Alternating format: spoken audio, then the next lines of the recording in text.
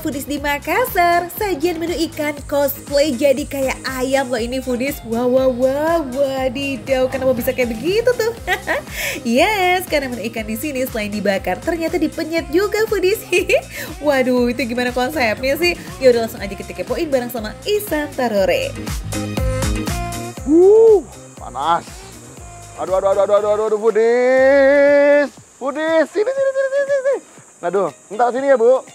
Terus diapain? Digeprek. Digeprek gini. Ah, Budis.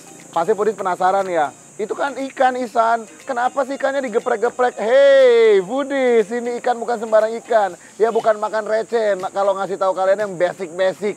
Ini sesuatu yang unik, ya. Kenapa aku bilang unik? Karena ini adalah ikan asin. Eits, nggak sampai situ aja loh, cara menghidangkan ikan asin di Makassar juga sedikit berbeza. Karena setelah matang, ikan asin bakalan disiram pakai cabai dan juga minyak kelapa murni, atau yang dikenal sebagai minyak kelapa mandar. Minyak apa itu, Bu? Dari kampung, dari Sulbar. Oh, minyak minyak minyak mandar itu minyak dari kampung dari Ya. Surba. Minyaknya minyak apa? Minyak Asli- kelapa asli sawit kelapa. atau minyak kelapa? Kelapa. Kelapa. Iya. Oh, jauh ya sampai ke Makassar dia ya.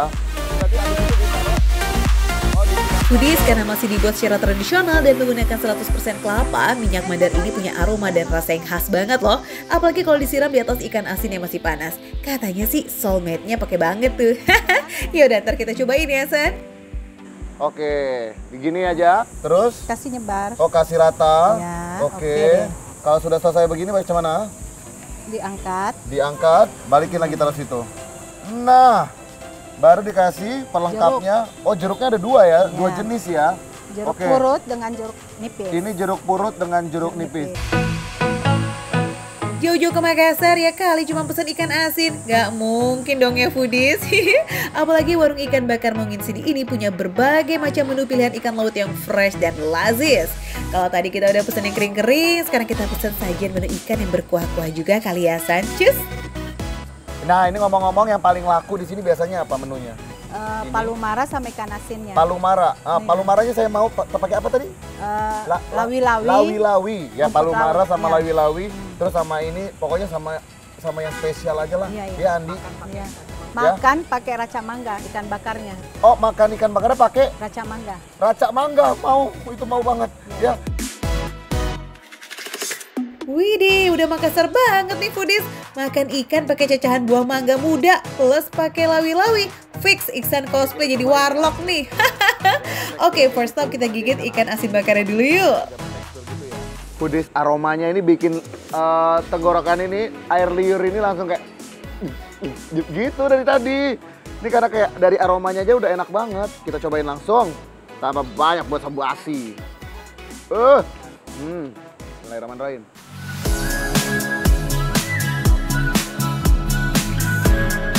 Wow, jujur aku kaget. Jadi aroma minyak kelapanya itu bikin daging ikan asinnya ini tuh kayak lebih enak. Udah gitu kayak aromanya itu langsung meledak di mulut. Aroma kelapa yang bener-bener meledak tapi nggak ganggu. Jadi aromanya tuh bikin makin enak. Dan yang paling utama, dia bikin tekstur ikan asinnya itu jadi moist banget. ya. Foodies, ikan asin ini menggunakan ikan sunu atau ikan kerapu. Proses penjemurannya maksimal selama satu hari aja, makanya tekstur ikan asin ini bisa tetap empuk meski udah dijemur. Eits, nggak sampai situ aja loh ya, daging ikan yang tebal nih juga lembut tapi tetap bertekstur dan makin yummy karena disiram dengan minyak mandar dan cabe. Sikat san. Sekarang kita cobain yang ini bedanya dia digoreng. Kalau yang tadi dibakar, ini digoreng. Nih, kita cobain ya Pudis. Tuh.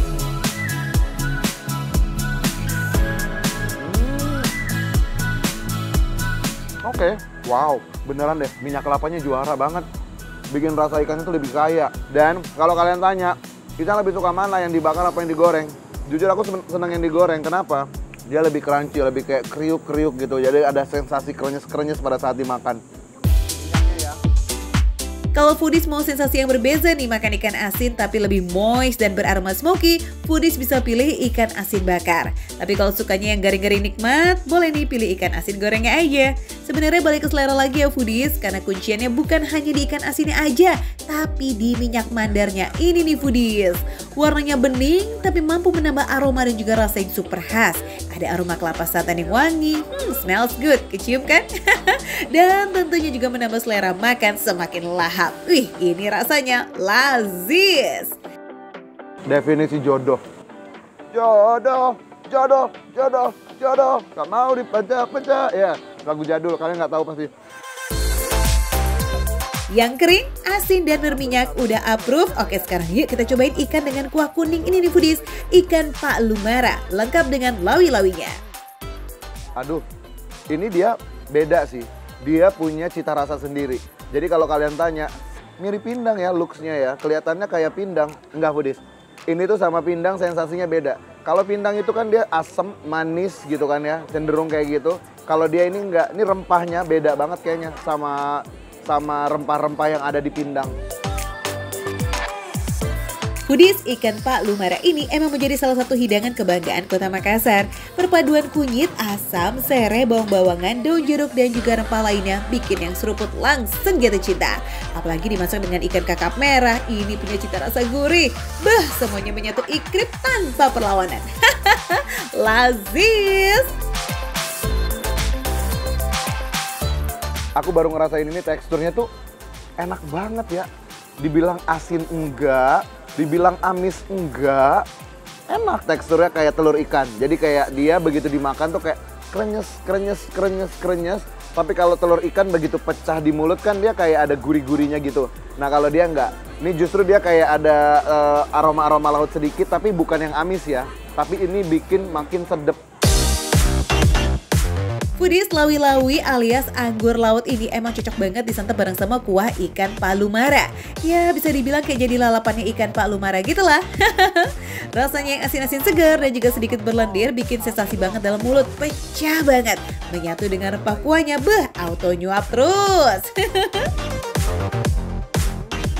Aduh beneran deh, ini kuah palumara campur lawi-lawi menurut aku kawinan yang luar biasa. Ih, juara kali nih warung ikan bakar Mongin Sidi ini nggak ada yang salah. Rasanya semuanya pas, rasanya semuanya enak banget. Lawi-lawi kolaps dengan cacahan mangga muda plus juga sambal, iya pastinya bikin Isan auto nyocol tuh foodies. Gak heran sih warung ikan bakar Mongin Sidi ini jadi salah satu pilihan warung santap siang bagi warga Makassar. Selain ikan-ikannya yang fresh dan juga nikmati, lokasinya juga berada di tengah kota. Dan yang paling penting, harganya foodies, you? Receh, start from dari 15 ribu aja. Beli satu porsi ikan udah dapet sambal, lawi-lawi, plus cacahan mangga. Wah ini sih lasis maksimal ya foodies. Pokoknya buat kalian ya foodies, kalian wajib banget sih datang ke sini. Datang ke warung ikan bakar Mongin Sidi ya. Karena ini semuanya, dari semua yang aku cobain dari tadi nggak ada yang zong. Malah enak-enak banget, aku malah penasaran sama menu-menu yang lain ya. Jadi aku bener-bener pengen cobain semuanya nanti nih. Ini cumi aja belum aku sentuh.